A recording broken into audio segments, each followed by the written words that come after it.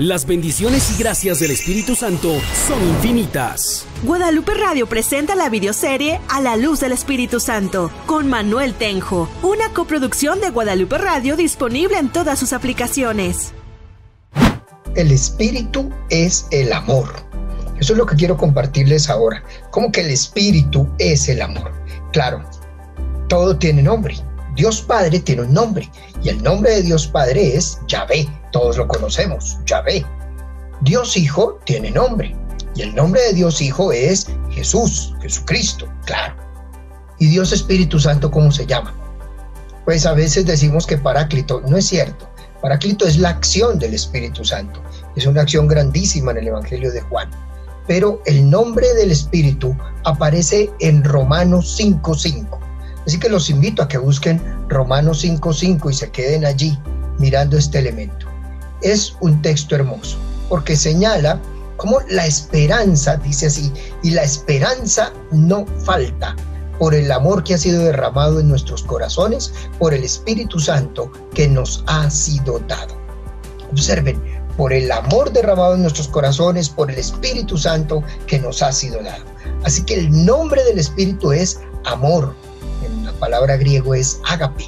Amor es, un amor grandísimo en el griego hay como varias palabras para mostrar niveles del amor, que en español no tenemos sino dos, que es amar y querer.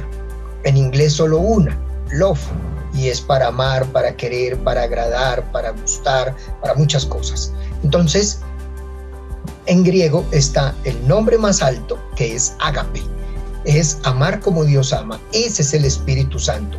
El Espíritu Santo es Dios desbordado sobre todos nosotros, entregando todo lo que Él es. Él es amor, entregado, desbordado, dado.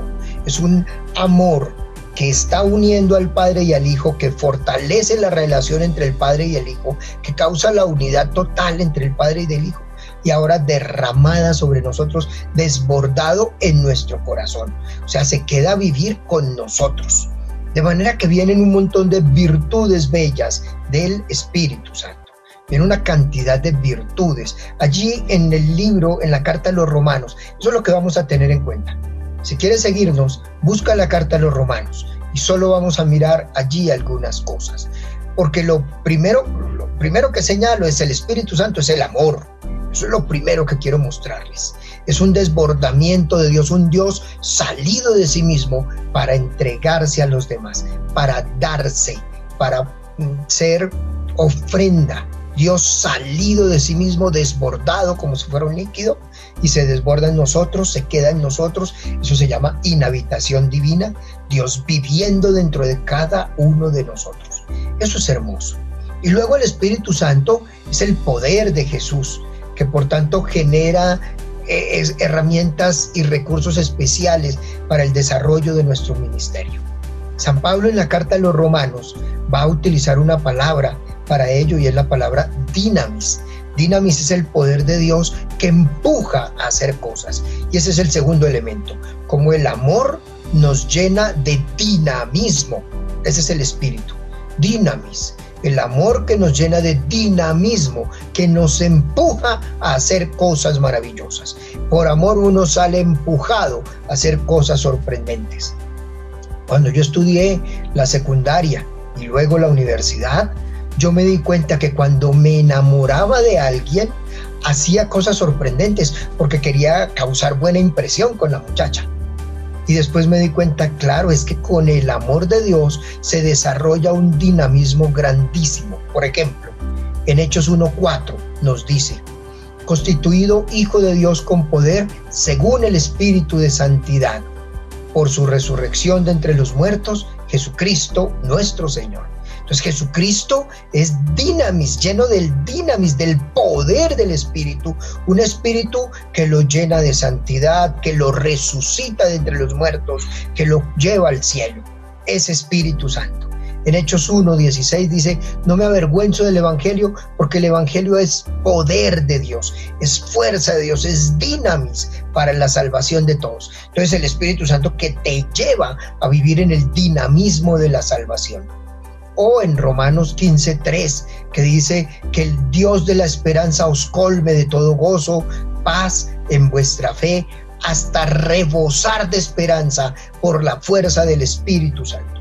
Observe, hasta rebosar de esperanza por la fuerza del Espíritu. Esa esperanza que no falla por el Espíritu que tenemos nos lleva, nos empuja, nos dirige a vivir en gozo, en paz, fortalecer la fe, o sea, genera en nosotros una serie de virtudes, de valores, de fuerza para crecer y para avanzar.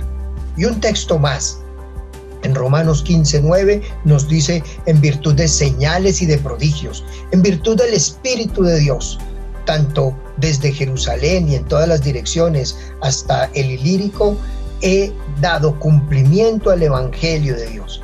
Pablo está haciendo el resumen de tu actividad. Él ha hecho una actividad desde Antioquía hasta Ilírico, en esos límites ha estado ejerciendo. Y entonces Pablo dice, por este Espíritu Santo he tenido virtud, señales y prodigios por el Espíritu Santo. Todo lo que se ha realizado, ese dinamismo para la evangelización con señales y prodigios. Por tanto, podemos ver que este Espíritu quiere hacer en ti cosas grandes, sorprendentes, llenas de vida, de fuerza, de dinamismo. El ágape te lleva al dinamis. Y este dinamis te lleva a otra experiencia más, que es el propio nombre del Espíritu. O sea, el Espíritu es amor que te lleva al dinamis, al dinamismo, a la fuerza.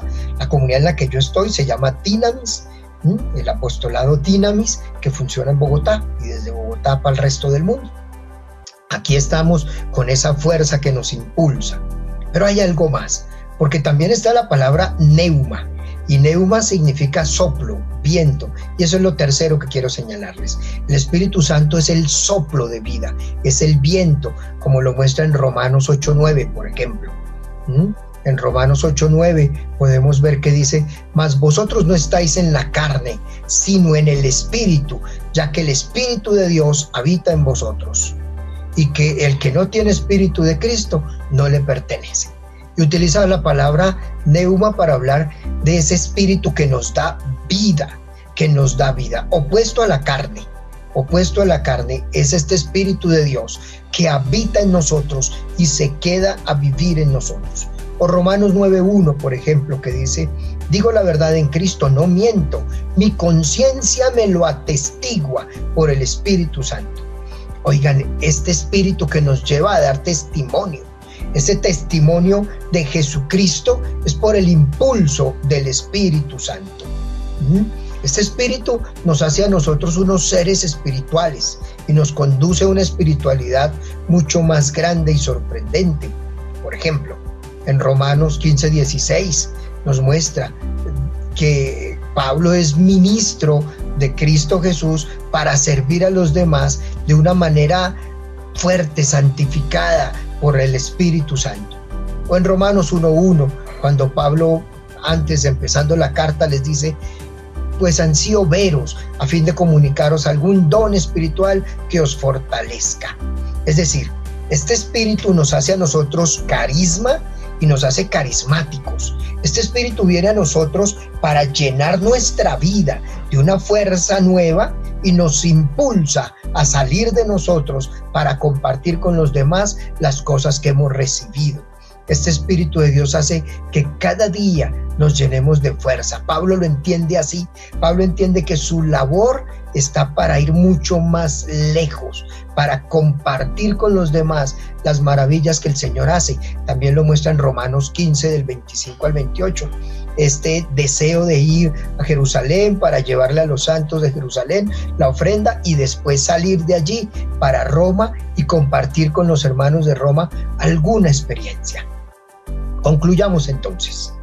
Ya sabemos que el Espíritu Santo se llama amor y por tanto cada vez que veamos en el Nuevo Testamento la palabra Espíritu, la podemos cambiar por amor y la entendemos mejor. Si tú le dices al Espíritu Santo amor, vas a ver que va a ser muy fácil entenderlo.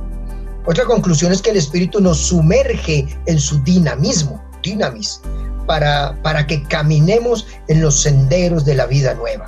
El Espíritu nos lleva, nos llena, perdón, el Espíritu nos llena tanto de su amor que nos conduce a contagiar ese amor a los demás, que que ese amor sea contagiado por todas partes. Imagínense el recuerdo que hace Pablo deseando compartir algún carisma, alguna presencia del Espíritu cuando vaya a Jerusalén y luego a Roma. Asimismo fue María cuando fue a visitar a su prima Isabel, contagió. Tú eres canal de bendición para los demás y tú estás para ser un canal de bendición para los demás. Di esta oración. Espíritu Santo, lléname de ti, fortaléceme, hazme canal de bendición para los demás, que yo contagie la alegría que tú me das, que yo contagie el dinamismo que tú me das y que yo contagie esa fuerza nueva para hacer que muchas personas vivan mejor. Gracias Espíritu de Dios por estar con nosotros. Gracias Espíritu Santo por acompañarnos, por fortalecernos y por conducirnos a un dinamismo nuevo.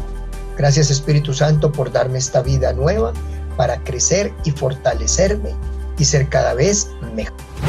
Gracias por acompañarnos en un capítulo más de A la luz del Espíritu Santo, en compañía del teólogo Manuel Tenjo Cogoyo, quien nos orienta a recibir la acción poderosa y sanadora del Espíritu Santo. Comparte este contenido y ayúdanos a multiplicar la bendición.